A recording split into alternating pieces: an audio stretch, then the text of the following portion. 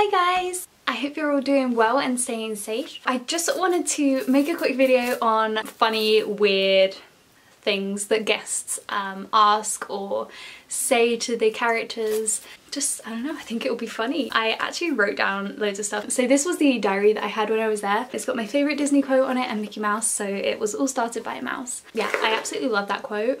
And I mean, Mickey Mouse is definitely one of my favourite characters by far. I love him. like I really do. So yeah, while I was here, like I, I didn't write much in it. Um, I wish I'd written a lot more. The plan was to like at the end of every day write something and all I wrote was like up to here in the book. So if you look at the difference, I've got all of this left. So when I go back, I will try and be a lot better.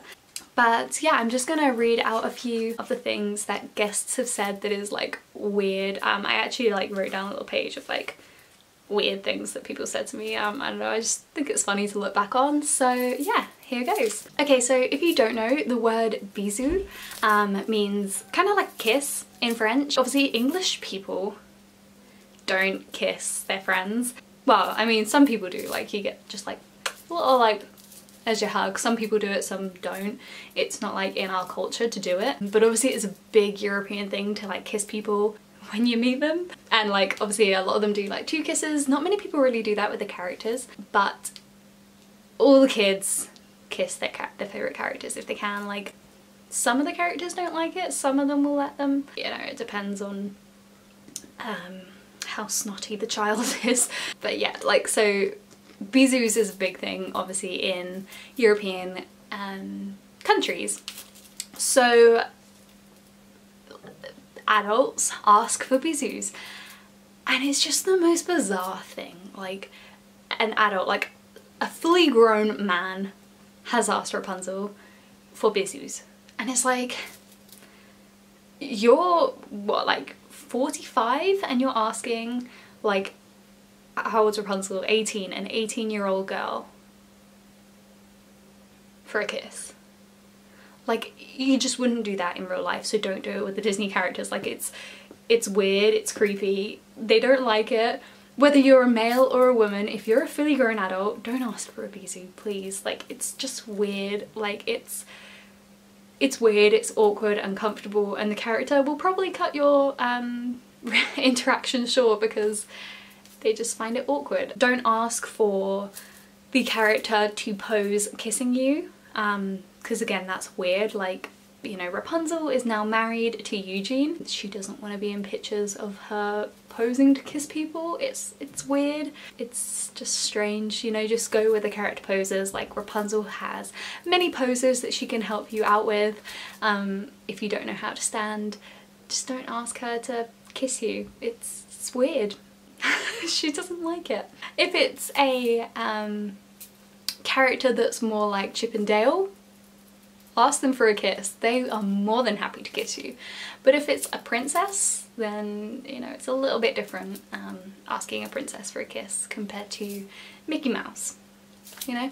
But don't ask Mickey for a kiss if Minnie's there because she won't be happy about that. I don't know if you guys know, um, I don't even know if this is like Disney official, I think it is because I mean like the houses and stuff like the architecture kind of looks slightly German in the Disney film so I assume they based it like to look German. Like it's not like a well-known fact as to where all the Disney princesses come from. Well I don't think it is, it's not to me anyway. Obviously I know that Bella's French because they say bonjour and stuff in the film but like there is nothing language wise or anything that shouts to you that Rapunzel is German. I, I did know that like Rapunzel is sort of based in Germany. But yeah, anyway, there was a guest that came in to meet Rapunzel and she had like a little bit of a meet and greet, like just like a, hi, how are you? How's your day going? And then she was like, do you speak German?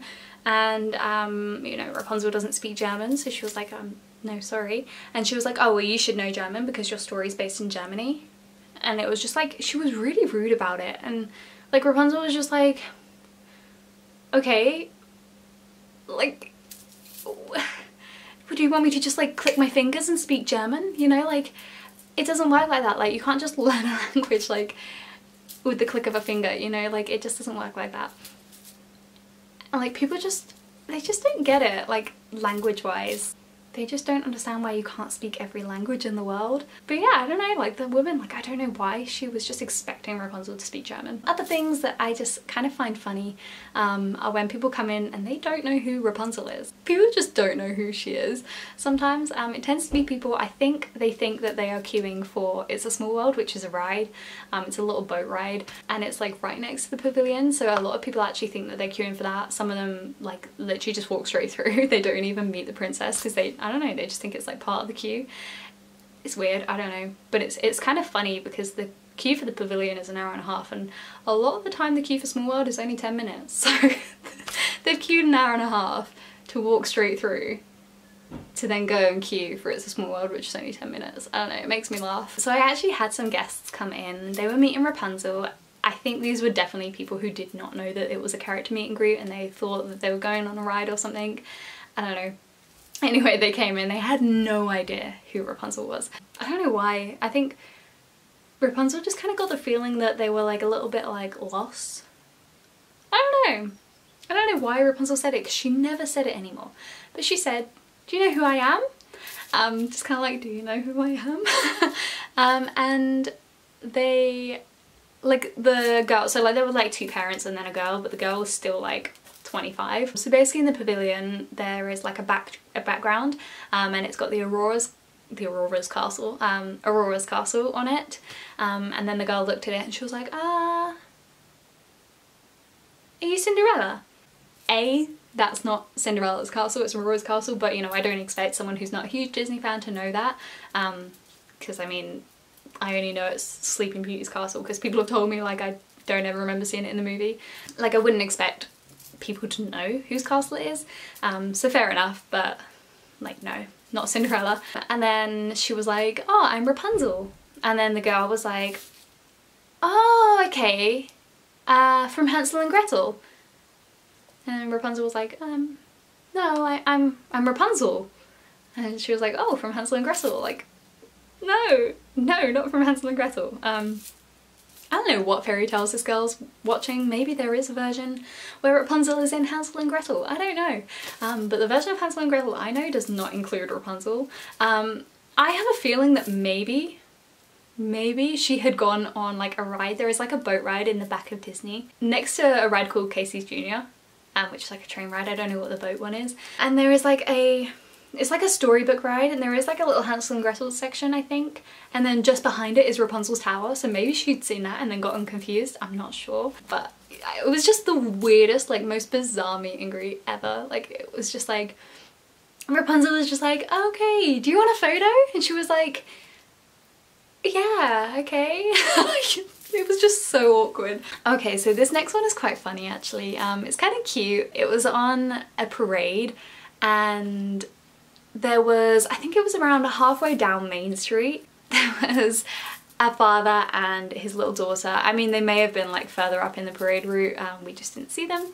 And the dad had like the autograph book um, open and he was like, can you sign it? And like Rapunzel's in a caleche, which, um, sorry, there's like the French word, I don't know, like we speak franglaise in Disneyland Paris. So it's just like a little like carriage that's pulled by Maximus. Like Rapunzel doesn't go and meet and greet during the parade, unlike some of the other princesses who can go over. When Rapunzel saw this dad holding an autograph book open, she was just kind of like, she just smiled and waved at them. Just kind of like carried on as normal um, because I mean what did the dad expect? Like Rapunzel was just going to stop the whole parade get out go sign their book and then carry on? Like it just I, I don't know.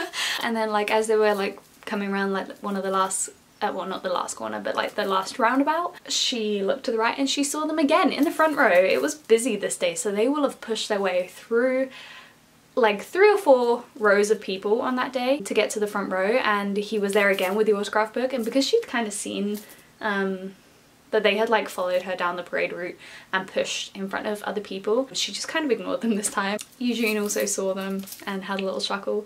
But yeah like I mean what what did they expect? That Rapunzel was just gonna stop the parade? Like I just I don't understand. yeah I don't know. It was funny. Bit strange. They followed them down the parade route probably were there right at the end as well, but I mean, she didn't see them again. There was a boy once in the Disneyland Hotel and he was meeting with Chip and he actually like tried to take off Chip's head um, because he was like, you're not real, I know you're a person in there. And then he was like hitting Chip and trying to pull off his head and Chip just kind of like got up and left. The parents did tell him off, thankfully. Some parents don't, they just kind of like laugh. But like it's like, I mean that kid was like four years old. Like I don't know why he thought it wasn't real. It's, it's a shame when you see kids like that. Um, it kind of ruins it for all the ones around it. Okay, so there was a situation when I was hanging out with King Louie once and he was doing just like a free set in the afternoon. So a free set is basically um, there's no queue.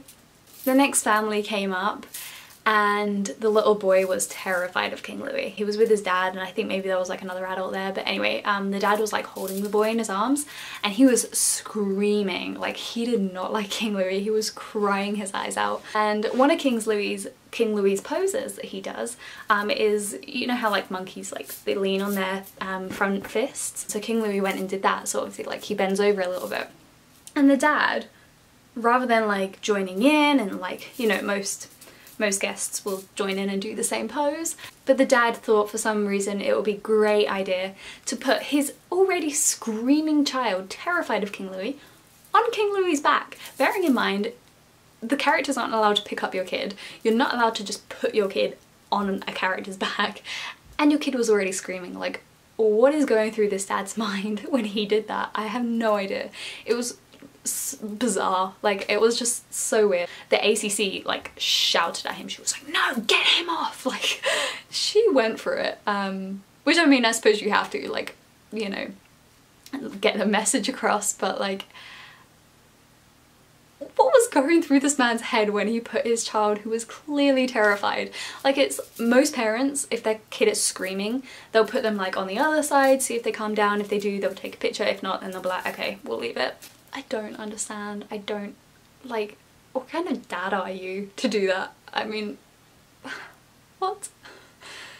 Anyway, yeah, and I mean that can really hurt the characters as well, so please don't ever put your kid on a character, um, because it can, it can really hurt them sometimes as well. Just saying. So then the last guest story that I want to share with you was a really like, made, made Rapunzel nervous. It just, it was a lot of pressure to put on her. So some people came in and she had like a little notepad and Rapunzel was like, oh, do you want me to sign your book for you? And she was like, yes, but I'm actually gonna get a tattoo. Um, so I was wondering if you could write the lyrics to your song and then sign it. Um, and Rapunzel was like, oh, wait, you're gonna like get a tattoo of um, the writing? She's like, yeah, yeah, so if you can write it out, then I'm gonna get it tattooed exactly like that. And Rapunzel was just like, uh, pressure much? I think it was the worst signature she's ever done. I'm not gonna lie, I'm sorry Rapunzel, but it, it was terrible. The handwriting was not neat. Her friend's one was a lot better because the pressure was just taken off so it just rolled, you know? But um, with the tattoo one, like there was pressure, there was like, her hands were like, okay. it's a lot of pressure to put on a character to say that you're gonna get it tattooed. I really hope that and she didn't get it tattooed exactly like that because I mean honestly it was it was appalling. Um yeah. Worst signature I think Rapunzel has ever done ever. And this woman is gonna get it tattooed on her body. Um so yeah I really hope she got the tattoo artist to fix it up and do nice handwriting uh, but you never know. I mean, this poor woman could be walking around with something that is illegible on her arm, leg, wherever she got it. I really hope she got the tattoo artist to fix it. And I hope that, you know, if she did want it exactly written how it is, I really hope that she at least took her friend's autograph because that one was a lot better. yeah. That, I mean, like, she was like in love with Rapunzel. So like it was a really sweet meet and greet, like she was like crying and stuff, like it was cute but at the same time like what? Can't do that to poor old Rapunzel. that was a lot of pressure. Yeah, so that is all I have for you today for weird guest stories. I have got a whole another page of um, cute stories from like mainly from kids written down so I am gonna do a video on those which is gonna be really nice so keep an eye out for that if you want to see it. So yeah, that's it for this video. I hope you enjoyed it and I hope it gave you a bit of a laugh. Just make sure that if you do leave a comment on this video to keep the magic. Yeah, if you want to ask a more in-depth question, feel free to send me a message on Instagram. So give this video a thumbs up if you did enjoy it and subscribe to see more videos. Thank you for watching. Bye!